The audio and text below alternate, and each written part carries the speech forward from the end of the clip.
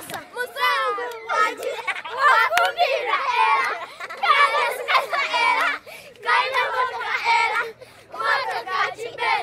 My name is Enrico Barone, I'm from Italy and I'm here in Nansana, Kampala, Uganda, as an EU Aid volunteer through the Estonian NGO Mondo.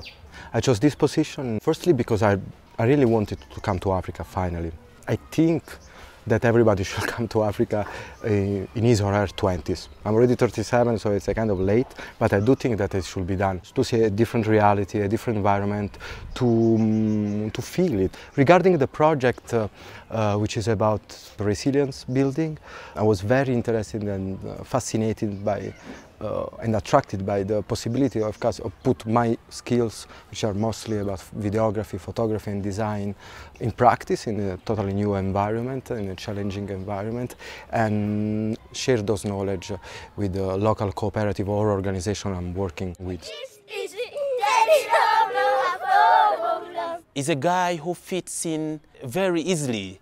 You know, it got him so fast to master the life and the local context in Uganda.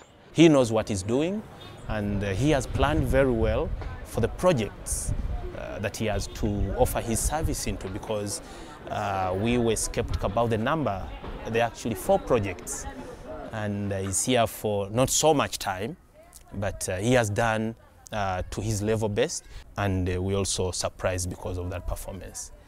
Two of the organizations are similar, Kampala Disabled Initiative or KDI, and the one in Gulu, Upcountry, are disabled people tailoring group.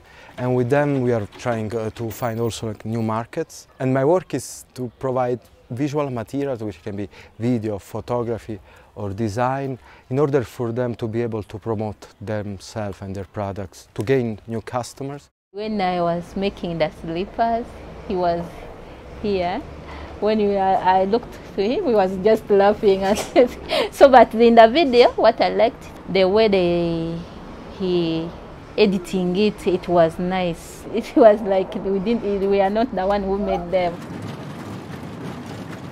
For other organizations like KIFAD uh, or Trust Future, I've been doing mostly documenting uh, successful stories. That means uh, stories of vulnerable, mostly vulnerable women, but also men or children that have been helped by these uh, two organizations.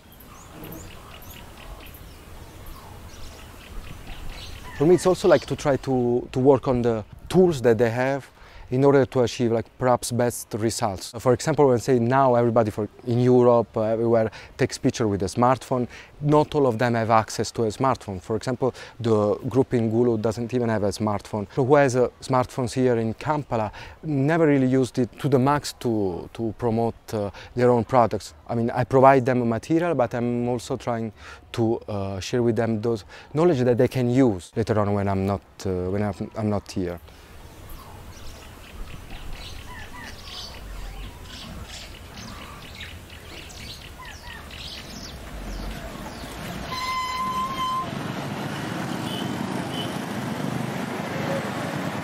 When they ask me how to describe a Kampala, the first thing that comes to my mind, I would say, is Kampala is a mess.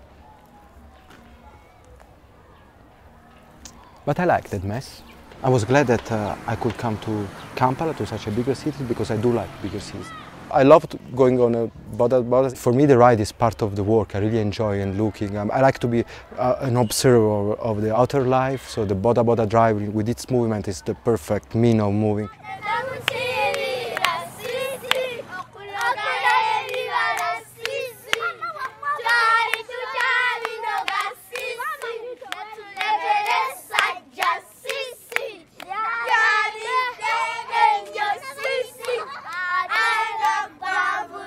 I found Uganda very inspiring because of the landscape, which is amazing and it's also pretty different. And yeah, of course, it can be, how to say, a cliche, but Ugandan people are very photogenic. They, they come out very strongly, I think, in pictures, as it seems that they have been in front of a camera all the time. Yeah, it's an amazing place from that point of view. Yeah, it's visual, it's more, very beautiful. Certainly, this experience will stay with me for a long time, and I'm sure that this experience will also help in the future in my professional and personal life.